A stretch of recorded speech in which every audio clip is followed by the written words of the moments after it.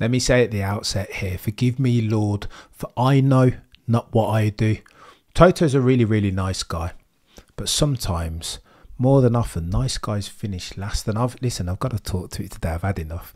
I've had a hard day, and this thing's bothering me now. I'm gonna go off hard. Scorched earth, Cameron incoming, because I need to rant about it. Look, Toto Wolff is an absolute business mind genius, levels above each and every single one. Like he's he's proper. He's a great guy. He is that guy. Look at the things that he's done with Mercedes. You guys know the facts and the stats that he's doubled, no quadrupled the advertising value of Mercedes over the course of his tenure. Props, sir. But what are we doing now? You guys are well aware, Steve A, that F1 is a what have you done for me lately? So I want to try and understand the gap analysis between then, the glory days of Mercedes, and now why are we here and why am I so upset with what Toto Wolff is talking to? Let's get let's get at it. Because there's so many different strands, there's so many different ways at which we need to approach this.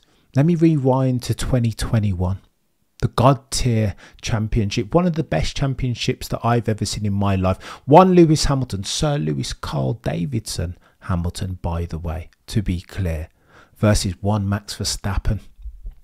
One is black from Stevenage, the UK. One is white from the Netherlands. You can't even write this sort of friction. The stakes were incredible. Once one in generation type drivers, both of them are. I mean, how can you write that? If you wrote it in a book, they wouldn't believe you. They would say it's the stuff of fairy tales. You can't make that up. And listen, on a regular, I go back and watch that season because it was incredible. It had everything that you need as far as the ingredients for a top tier upper echelon season. But here's where we need to look at Toto Wolff, the first one, Exhibit A.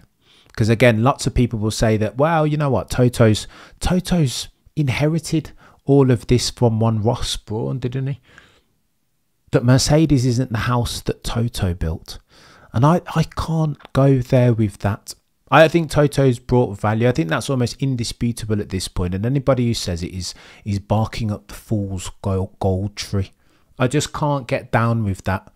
Toto Wolff is absolutely worthy of some praise. And for table setting, I need to put that up front, right? Preface everything that I'm about to say, this diatribe incoming with that. Give that dude his flowers.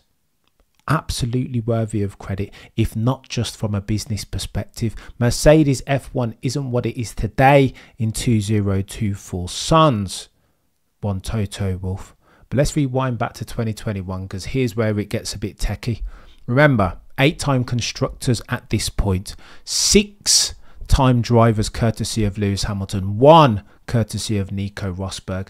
They've been dominating F1 good and proper. They have. There's no other way to cut it. But then we rewind to 2021, and here's where it gets a bit techie because decision making. Listen, a lot of people say that F1 is about people. I think but I would differ ever so slightly. I think F1 is about decision making, sound, rational minded decision making. That's how you elevate to the top, and that's how you have success ultimately, endured success in F1. Cool. Let's rewind back to 2021. Keep that front and center of your mind. Yeah, decision making people and decision making, moreover. 2021, Max Verstappen and, and Lewis Hamilton are going at it hammer on tongue. It's close it's techie. It's one of those ones where it was, of course, ultimately deci- decided even on fine margins. Of course, it was. Brake magic, we can talk to that. We can talk about Imola. We can talk about Hungary. There are loads of incidents, and it was so close that it was always going to be decided on fine margins. Toto Wolff et al. made the decision together with Elliott, together with James Allison. But the, what what were they going to do as far as development of that car in a season that's so bloody close? Surely it makes sense to put all your eggs in a 2021 championship basket. My old my old lady, Mama Cameron, she would always say to me, a bird in the hand is worth two in the bush. Focus on the here and now sometimes. Now, I know the regulations were changing, and if you nail the 2022 car, then you get endure, enduring durable competitive advantage, as have done Red Bull. Take that. I get it. However, if in the circumstance that you're in a neck and neck battle, if it's fine margins with one Max Verstappen in an Adrian Newey designed Red Bull, then how about we focus on that in the real time? How about we focus on getting that championship done in 2021? You didn't have enough margin in your pocket, Toto, Mike Elliott, James Allison, to go and focus on the 2022 car. We were moving as if this was 2018 and we had durable competitive advantage to spare. That's not what it was. This was this was fine margins now, and it was always going to be decided on temps. Ultimately, it came down to Michael Masi, Abu Dhabi. We all know the the polemic that was Abu Dhabi. But listen, opportunity cost of cash, right? Sliding doors. If Mercedes had focused on that car in real time in 2021, who's to say that Lewis wouldn't have won fair and square? Clear before Abu Dhabi? I don't know. Listen, this is all ifs, buts, and maybes. However, what I do know is that Toto Wolff, Mike Elliott, et al., James Allison made the decision to diversify their development portfolio and focus on 2022 when the correct decision, particularly with the benefit of hindsight, and hindsight is always 2020, right? Everybody can be a Monday morning genius and quarterback, but particularly with the benefit of hindsight, how do you not focus on the here and now? The battle is close. You don't have any wiggle room. Focus on what's in front of you, Mercedes and Toto Wolff. Cool, there's your exhibit A in my humble opinion, made a massive an error of gargantuan proportions. But cool, we'll chalk that up to the game. Exhibit A didn't focus on the 2021 car, but let's see how they did in 2022, eh? Because they put all of their investment resources into that car. Well, you know how that story ends already. 2022 car was an absolute nightmare. Didn't work Again, super narrow, peaky performance curve. They saw all of this performance in the wind tunnel and the CFD, et al., yada, yada, yada. Where was it? That car only worked one of 365 days when it was a full moon around tracks that were at high altitude for Pete's sake. What are we doing? I mean, Matthew, what what are we doing here? Come, I understand anger towards Toto, but he's one he's one that brought me. No, Matthew, you're right, and you're very very generous, sir. You are right, and again, that's why I prefaced everything I'm about to say by saying, listen, Toto is absolutely worthy of praise. Of course, he is. I've got to give him. I've got to give him his flowers and his due props. But look, as we as we mitigate, as we navigate even the story arc, I'm going to bring it forth into 2024 because lest we forget, F1 is a story about what have you done for me lately. Here's where this is this this rant has been triggered by this. I was at work today and we were trying to justify some numbers. Ultimately, the numbers were going backwards in the next financial year. My boss looked at me and he goes, "Cam, what are we what are we talking about? How are we going to go backwards? A, a company is only as good as its last set of financial statements. You can't talk about what you did three or seven years ago. Nobody cares. Your share price bears no relevance. Your share price today, your NPV, your value as a PLC, bears no relevance to what you were doing five years ago. Like it, it's so irrelevant. So why we sat here talking about former glories with Mercedes? That's why I want to look at what's going on today in the here and now. And I think it's worthy of some criticism. 2022 comes in now.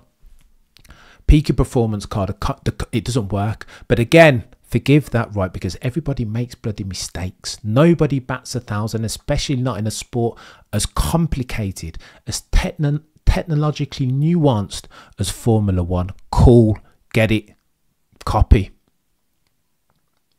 But what do they go and do after that? All 22, that's another season of Lewis Hamilton's career written off. Cool, okay.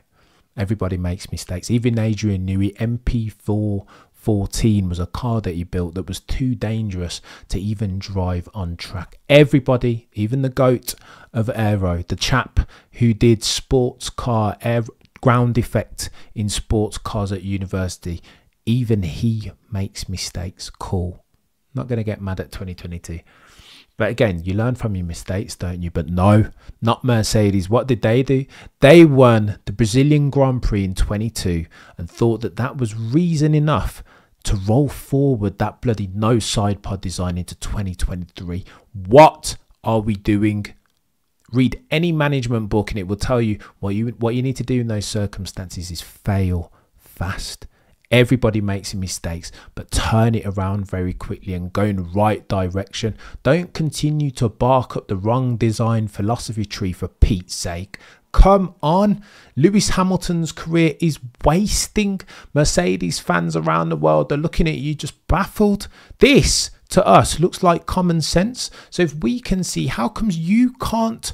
Toto, Mike, James, like, what are we doing here? And I know it's techie, and I know I'm very firmly in rant territory again. I don't want to come and do this every time, but sometimes as you're connecting the dots, you you gotta speak your mind. I just don't understand. The mind boggles each and every single time as I try to piece together this story arc. 2023 comes round and they rock up yet again with a flipping zero pod of a car. What, what didn't we learn?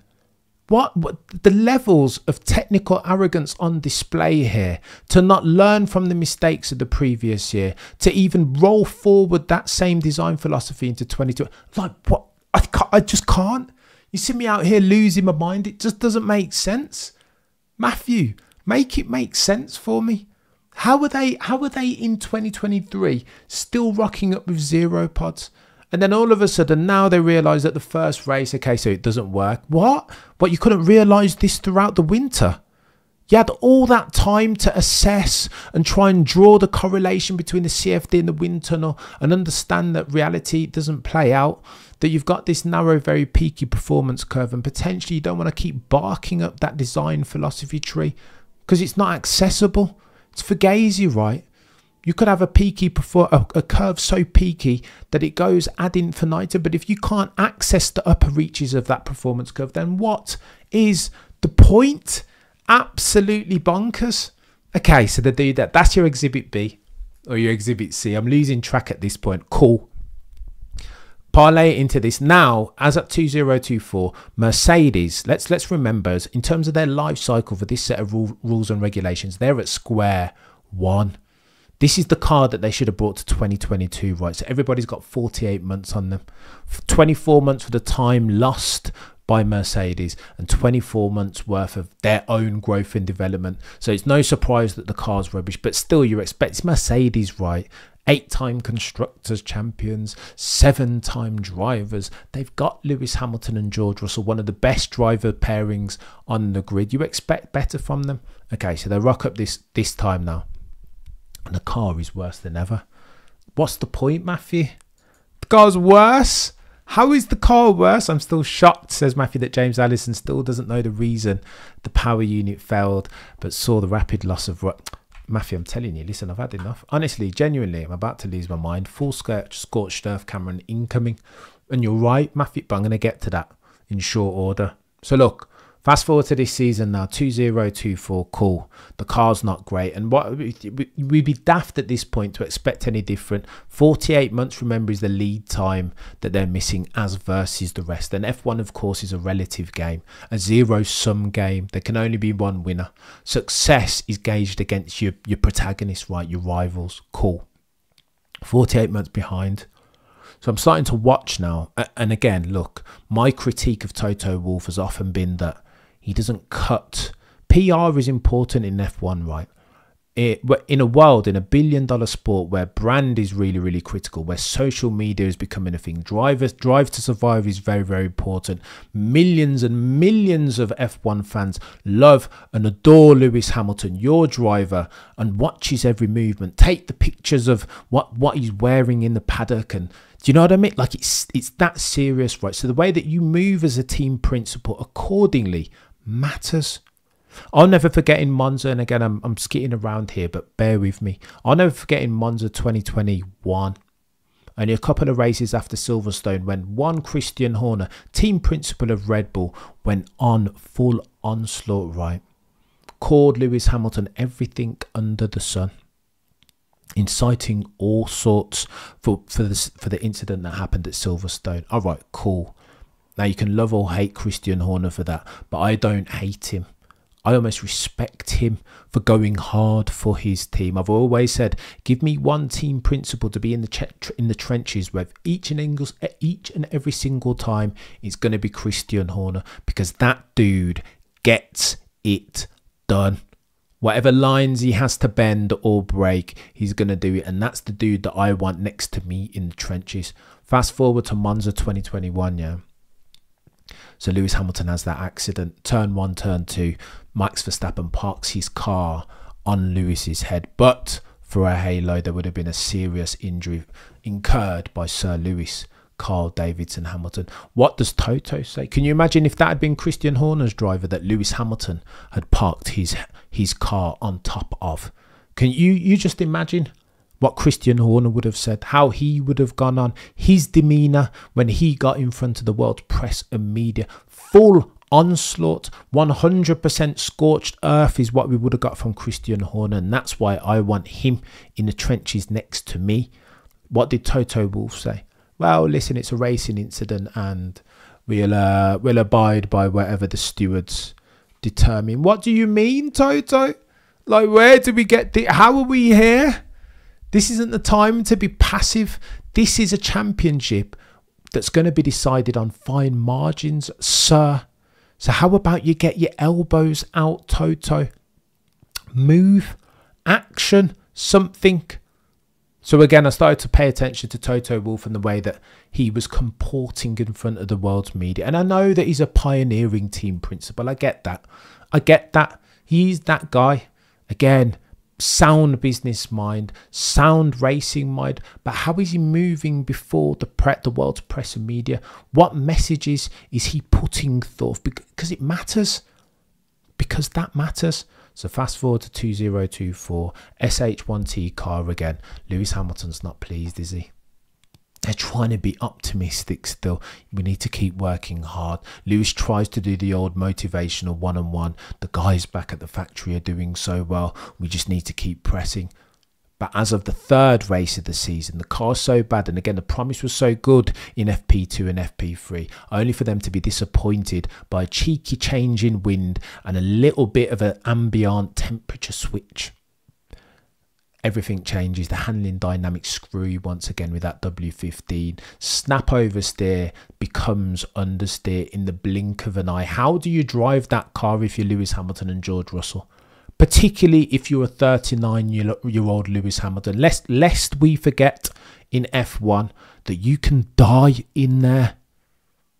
Please see Ayrton Senna. Please see Roland Ratzenberger. Please see Gilles Villeneuve.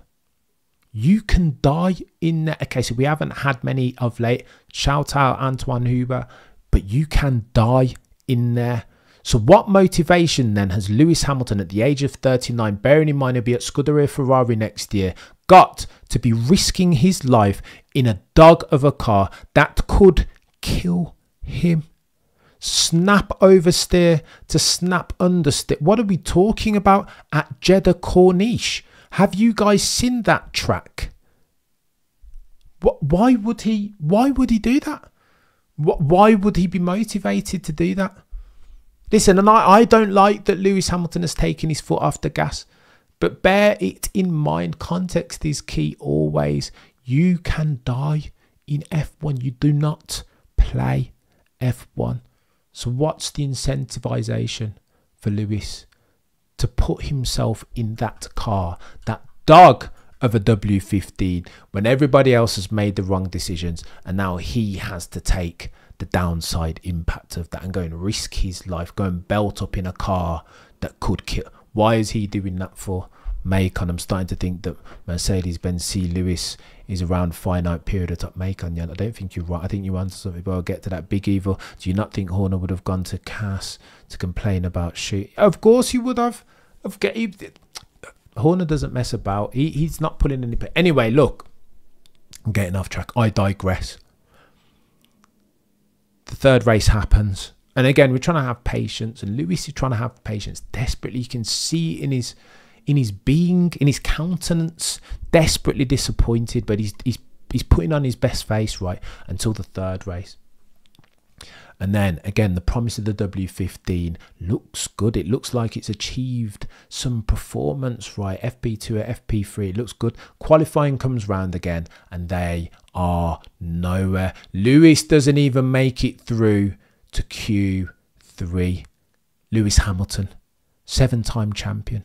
Singapore 2018, 2007, nearly a rookie champion against one Fernando El Plan Alonso, two time champion, who defeated and sent packing one Michael Schumacher. What are we talking about here?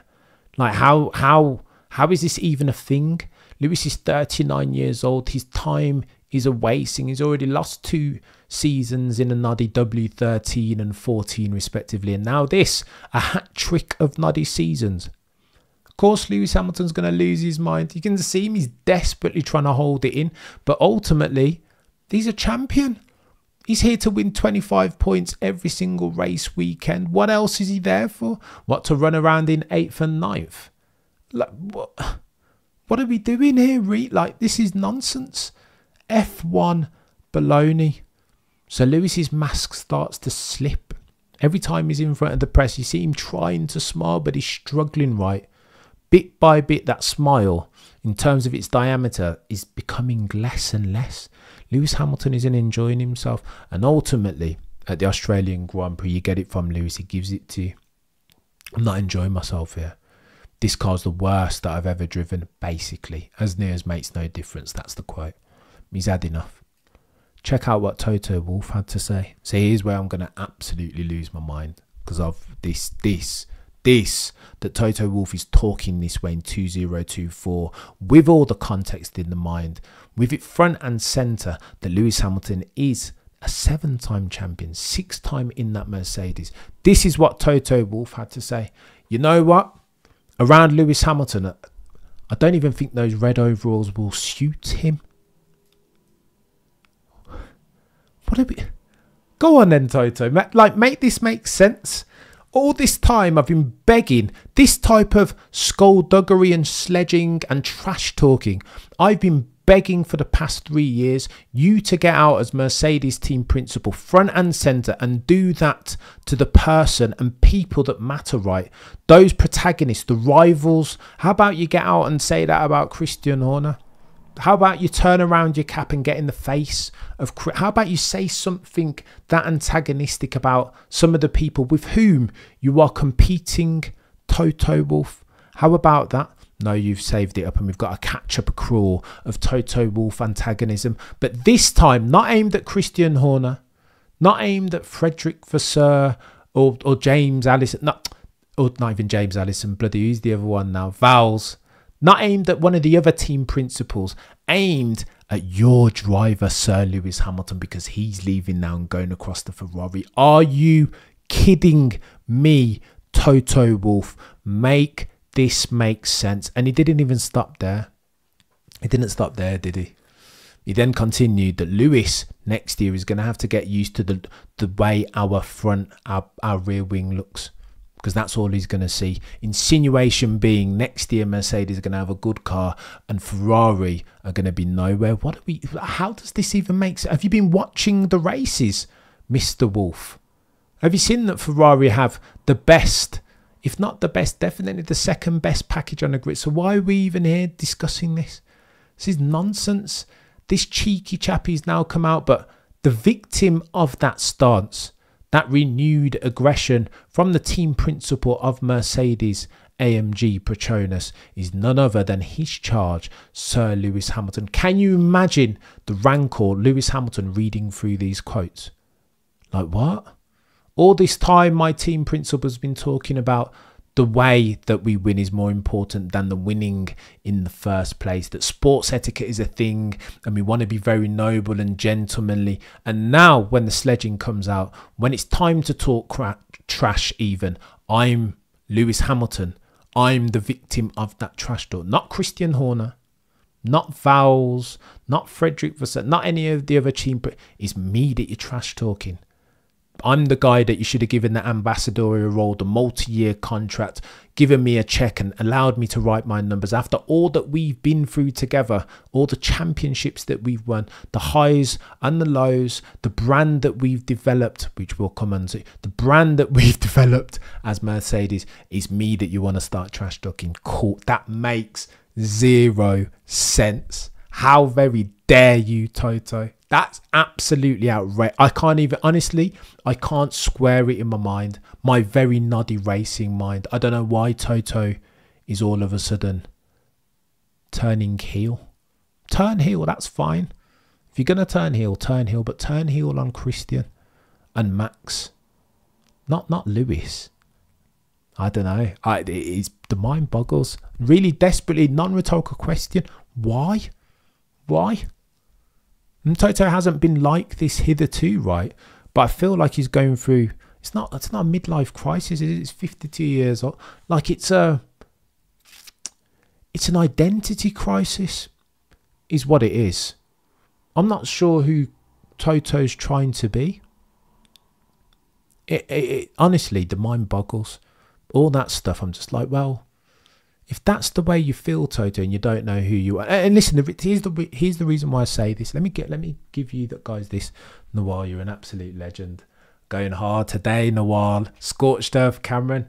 And there it is. Cami goes after his own driver. As I've said, Lewis has been disappointed by Merc and even more Toto. Of course, the one. Why would he not at this point? And thank you so much, the You're far too kind. But why would he not? After all that they've been through, table setting, all the championships six for Lewis, one for Nico, eight constructors, all the highs and lows, 2021 going back and forth, the protest that they were going to do that didn't turn around.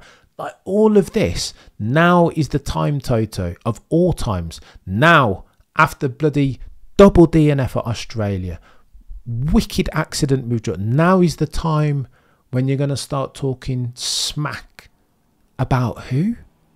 About Lewis.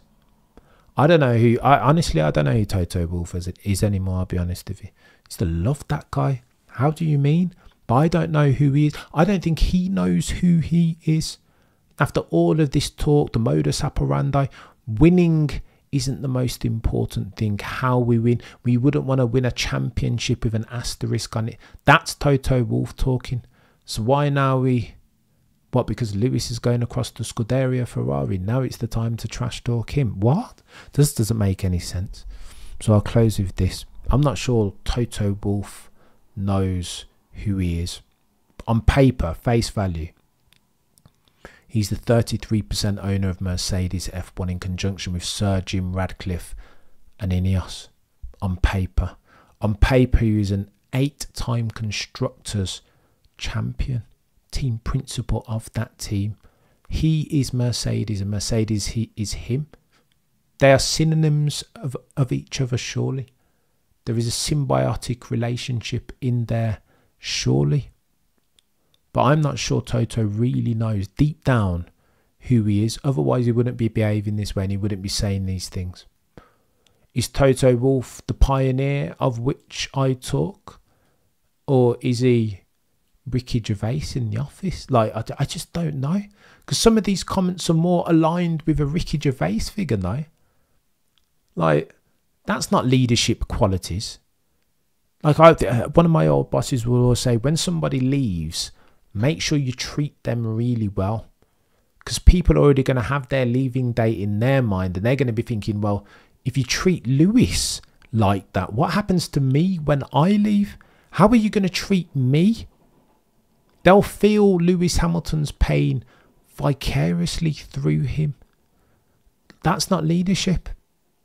And so to close, look, Toto Wolff is a family man. You guys have seen Drive to Survive. A, fam- a loving father, loving husband. He's a proper family man, a brilliant business mind, a billionaire at this stage, probably multiple times over. Props. I can't hate on Toto Wolff. But F1 is a business where what have you done for me lately matters. And what has Toto Wolff done for me lately other than antagonize my driver and underperform periodically over the course of three years? Look, in Drive to Survive, there's a brilliant episode, Leap of Faith, the one that talks about Lewis Hamilton et al. And you see the pictures, the, the the video footage of him with his with his karting son, Jack, I think his name is, and loving wife, of course, Susie Wolff, Parlay that couple that keep that front and center of your mind when you're hearing Toto Wolff again, the very latest tidbits from Toto with this because of the underperformance of recent races, the double DNF of at Australia. If you're going to call into question whether I should be the guy, says Toto Wolff, to lead Mercedes going forward as team principal, then then that's fair. Toto Wolff's words. Those are Toto Wolff's words. He's talked a gazillion times already about his future, and I'm not sure at this point it wouldn't be best for all concerned if he didn't take his leave. As successful as he's been, every dynasty comes to its end, right? Father Time is undefeated. Nothing lasts forever. And I don't want to, I don't want him to further sully his legacy. I'm being honest here. I don't know if Toto Wolff is the guy to take Mercedes through this transitional phase and lead them back to the promised land. I'll be honest. I just don't know. In fact, on the contrary, I don't think he is. Genuinely. You guys might know better than me. Let me know in the comments if you think Toto Wolff is that guy to take Mercedes back to the the promised land. Maybe is. Maybe I'm wrong. I don't know. But you know what? For now, the prosecution rests. No further questions, Your Honour.